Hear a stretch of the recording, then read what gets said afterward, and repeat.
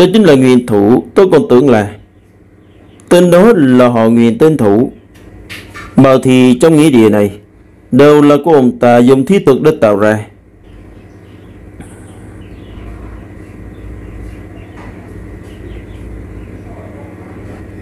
Án Tiếu Kỳ.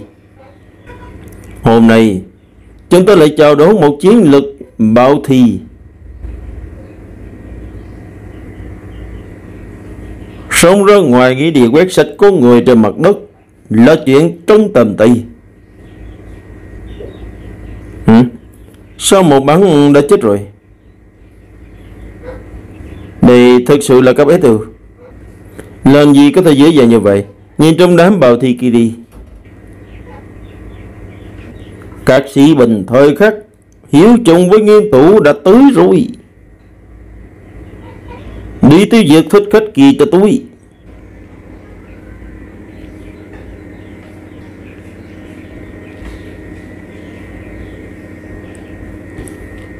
Tiếm hiện xà kích. Trước kia từng gặp qua thúy thuật Không ngừng dùng phần thần đối hồi sinh. Nguyên thủ cũng như vậy sao? Giống như là nghi thủ, Là thực hồi sinh thế thần. Thực hồi sinh thế thần. Những tiếng binh mà hắn chịu hồi ra thì một tên đều có tự thầy tự hắn chết trong khoảng khắc. Hắn chịu đòn tấn công chí mạng. Ví dụ như hắn có thể triệu hồi ra một tỷ binh vô hạn Thì chẳng phải là vô địch sao? Cũng không phải là không có điểm yếu. Hắn có bán kính triệu hồi lớn nhất. Cứ cách, Hai cách, Có thể triệu hồi và tiêu diệt hắn. Một là tiêu diệt hết tỷ bệnh trong phạm vi triệu hồi của hắn. Cách còn lại là dọn hắn tới Nơi cách binh đoàn rất xa. Vậy bán kính chiều hồi lớn nhất của hắn là bao nhiêu Tôi cũng không biết Ẩn nấp bên cạnh nghiền thủ lâu như vậy, Nhưng mà chưa từng hắn tiết lộ ra bản lính Trước mặt tôi Phạm vi cụ thể thì cậu còn phải tự tìm hiểu. Vậy tôi đi hạ nghiền thủ. Anh cũng phải bảo vệ tóc hồng thật tốt giúp tôi đấy. Không vấn đề. Tự thăm dò sao?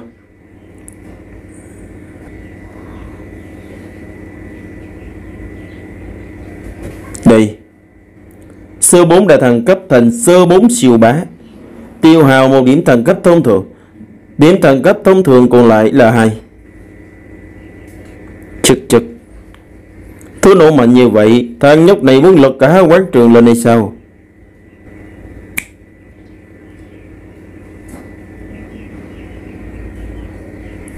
Thi thuật Gia cố đi bảo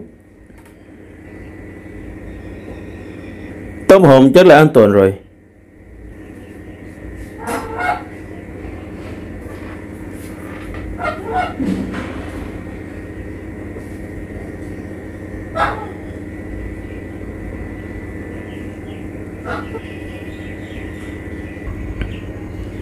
Chiến bình đã nổ tụng hết, cho ông nội ông rồi. Xem, ông còn dùng thế thân kêu gì? Tìm thấy ông rồi.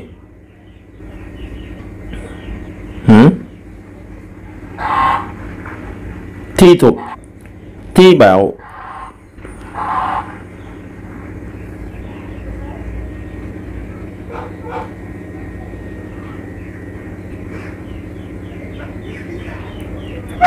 Không ngờ lại chị giấu như tiêu bình tới như vậy Đa trọng thi bạo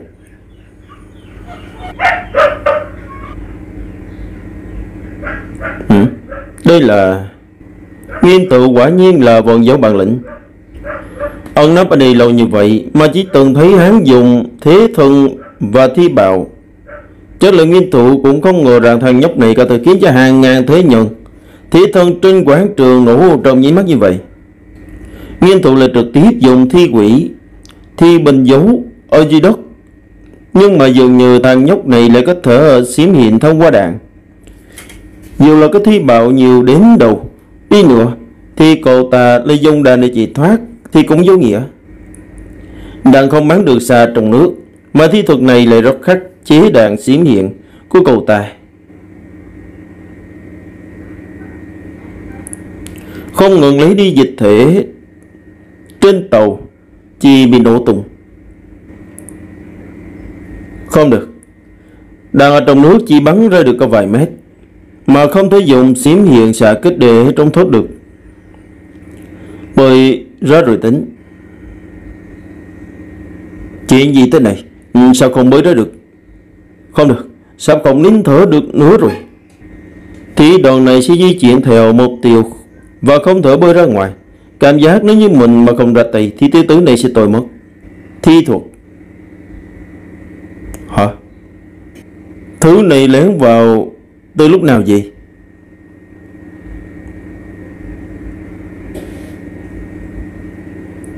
Không ổn. Nếu như thi bạo ở đây, Thì sẽ ảnh hưởng tới Long Hồng.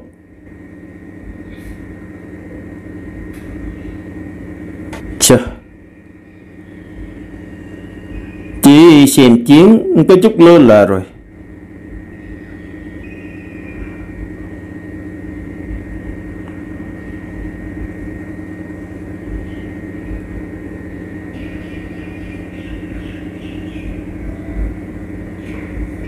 Tìm người đã sắp ngừng đập rồi. Sau khi ngươi chết thì ta sẽ biến ngươi thành chiến sĩ bào thị. Bên trong rất tốt, Thành phẩm thì ít nhất phải đạt tới A cộng. Một điểm được nâng cấp bình thường Thì chỉ bị tiêu hao, Còn lên 10 điểm năng lượng Thì sẽ nâng cấp bình thường. Giá trị sinh mệnh ra đây. Sao hắn lại sống lại rồi?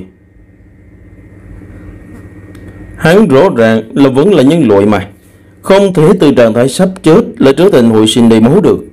Nhưng, Vậy thì sao chứ? Người không phải vẫn bị nhốt ở trong nước hay sao? Chứ dù người sống lại thêm một vạn lần, Thì phải chết tới một vạn lần nữa. Nói đúng, Chỉ cần mình không ra ngoài được, Thì nhiều nhất Mình có thể sống lại 10 lần.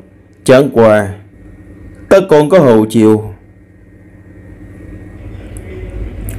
Thần cấp dung hợp, Nghiệp hỏa chi hạch cộng. Đại mộ Địa chảo đạo. Tiêu tạo tiêu tốn một điểm đẳng cấp thông thường và nhận được 9 điểm thăng cấp. Còn lại để nhận, Nghiệp hỏa chi nhận.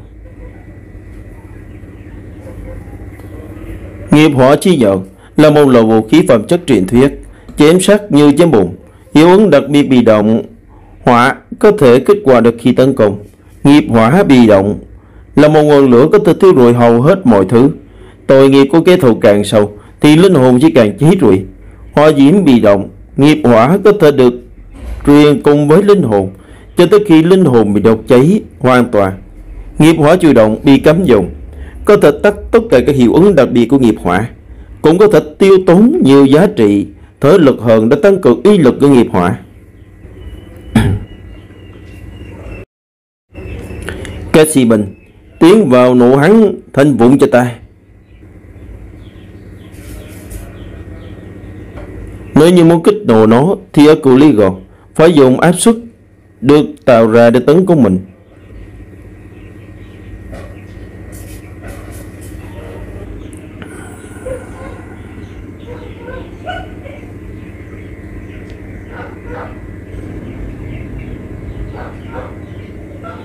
Không, không thế nào, không thế nào.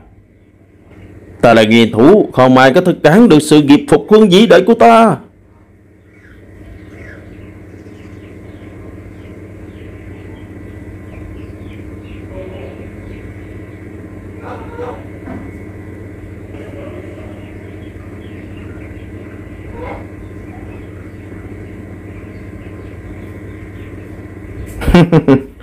ta là nghệ thủ. Nắm ở trong tay hàng vạn thi khôi, Ta có thể trọng sinh vô hạn. Người sao có thể giết chết được ta chứ? Người ngay cái đào cũng đã thu lại rồi, Không định đuổi theo nữa. Cũng phải biết là giết không chết ta, Thì bỏ cuộc rồi. Đợi ta nghiên cứu ra thi thuật mới, Rồi đối phó với người. Ý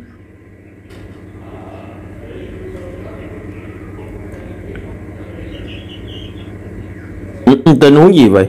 Rõ ràng mà nó đuổi thì khôi thế tận tại sao lại bị cháy? Hả? Tại sao? Rốt cuộc là tại sao? Tại sao? Tại sao? Rốt cuộc là tại sao chứ? Tại sao? Tại sao?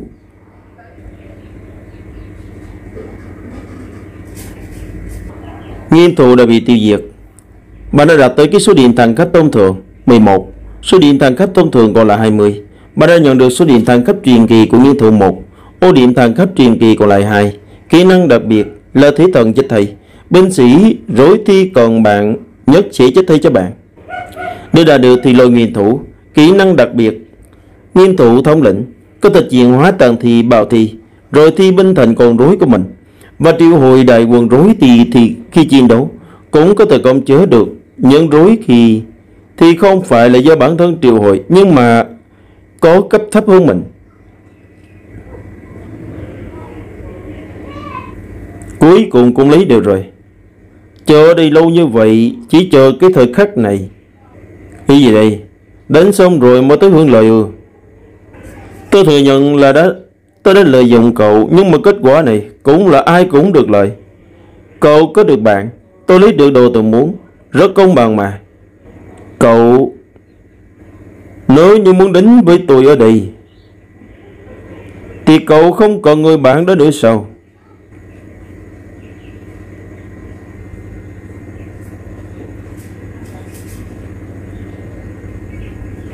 Đất mộ đã sắp đóng lại rồi. Phần thưởng thềm chỉ kết toán sau khi rời khỏi đất mộ.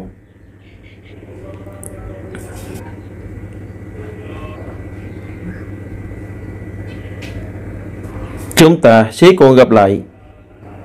Mong rằng lúc đó, cậu sẽ không cản đường tôi.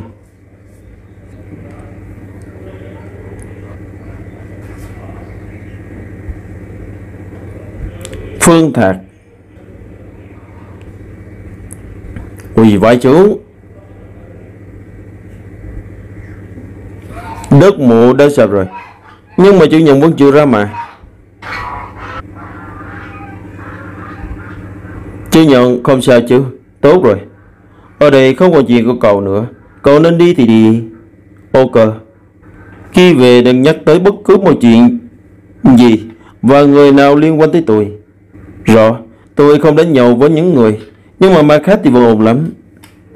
Sau khi cậu và Thành giúp tôi Tìm những đồ ở trên danh sách này. À được. Tiếp theo thì phải sắp xếp chỗ cho An Tiêu Kỳ. Người trong tàu của đều ở thành bào thi hết rồi. Cũng không về được thôn nữa. Cũng không thể được quái vào thành.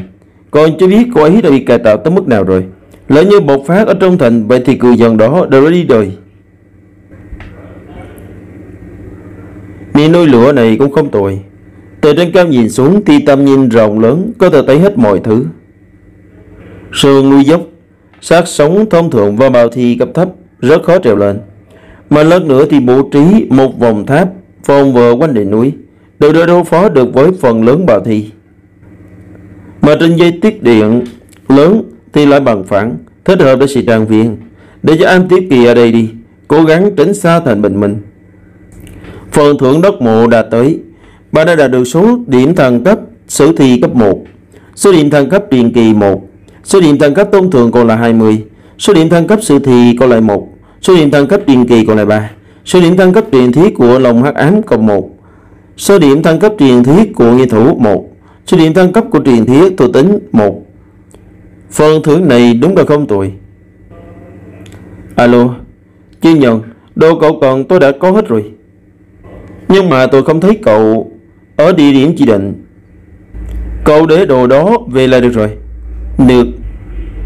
Nhưng mà một xe đồ của chuyên nhân cần có chút kỳ lạ. Bánh mì nước thì cũng bình thường, nhưng mà hạt giống với mô hình đồ chơi đó là cái gì?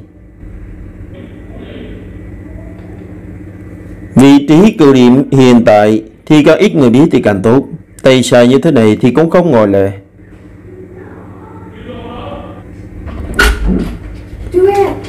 Hmm không có đi bút.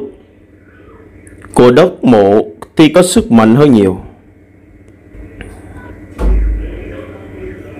Trước kia thì toàn thăng cấp dựa vào kết quả hệ thống dự đoán. Thì giờ thử thăng cấp thì muốn của mình xem sao tạo ra một căn nhà lớn. Đi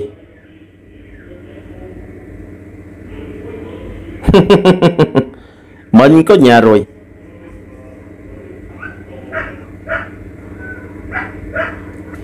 Tiêu hào một điểm thăng cấp thông thường, có được căn nhà lớn, còn lại 19 điểm thăng cấp thông thường. Tập 36